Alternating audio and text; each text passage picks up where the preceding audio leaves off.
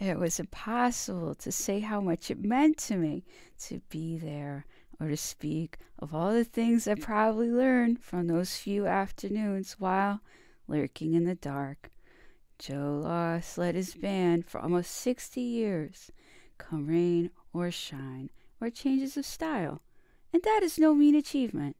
A band continues in his name to this day. Sometimes later, my dad let me in on one of those band secrets. Joe Loss's energetic showmanship apparently didn't always make for an entirely accurate beat. If there was ever any minor dissent in the ranks, they would adhere exactly to his baton and take evil glee in winding the tempo up and down like a wonky gramophone. It was a subtle, almost imperceptible form of insubordination, but it probably acted as a safety valve for a group of men who worked in such close proximity, six days a week, in St. Anne's Hall. The band got just two weeks' holiday a year, like any other working man, but it would also be their job to provide the entertainment when everyone else was celebrating Christmas or New Year's Eve. They worked hard when they weren't at the Palais or another London ballroom. They were doing radio broadcasts or touring the country. Some of my earliest memories are of my dad arriving home with a big stuffed animal under his arm or a small painted plaster donkey that he'd promised to bring back from a tour of Ireland. I have photographs, but no actual memory of my mother carrying me as an infant on the sands of Douglas during an engagement on the Isle of Man in the mid 50s. In that picture, my mam is wearing pearls and full makeup, but it really wasn't that glamorous life with band members always changing from damp clothes in freezing or overheated dressing rooms, or crushed together for night drives in drafty coaches along foggy A and B roads. Joe Loss was a stickler for appearance, punctuality, and discipline.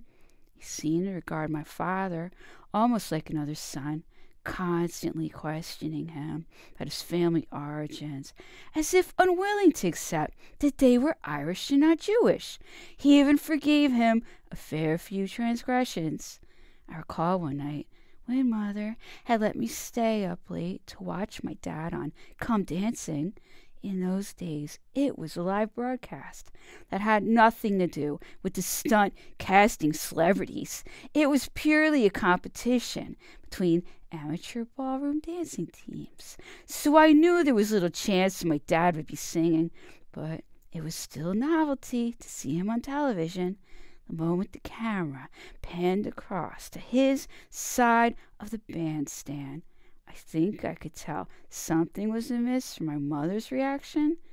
The show had opened with the Latin dances, my father was up behind the conga drum, playing with rather more force and animation than the number really required. My man went out of the room to put the kettle on, quietly registered her dismay at my father's fairly obvious intoxication. A short time later, a hallway telephone rang, and I could hear a low but anxious tone to her side of the conversation. My mother seemed to spend quite a lot of time on the phone to one or the other orchestra wives, alternately sympathizing or receiving consolation over their husband's latest jag. The details were too obscure to me then, but from what I overheard and came to understand, drink and other women were generally involved. After that appearance, my dad remained fired for about three days before Joe Loss relented and hired him back. I don't recall exactly when my parents parted because even after he went to live elsewhere, my dad would come around a lot. There was no big, ominous announcement of the parting, or if there was, I have dismissed it from my mind. Still sometimes would arrive on a Sunday morning and take me to the 11 o'clock sung Latin Mass at St. Elizabeth on Richmond Hill, which they retained long after was abandoned elsewhere by papal decree.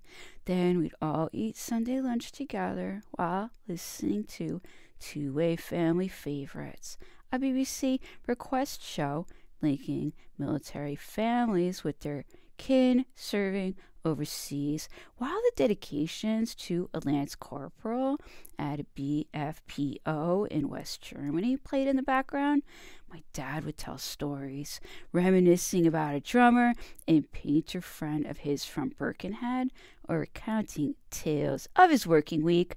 Ross definitely had charm, perhaps a little too much. Young women would call our number late at night, looking to make mischief until we were obliged to take our listing from the directory.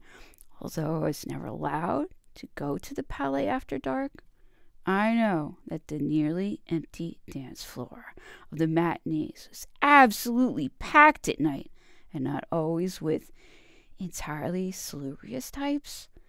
My mother recalls one of my dad's more dubious acquaintances extending his hand to her with the greeting, Hello, I'm Phil the Thief. And this was only a few convenient steps away from Hammersmith Police Station.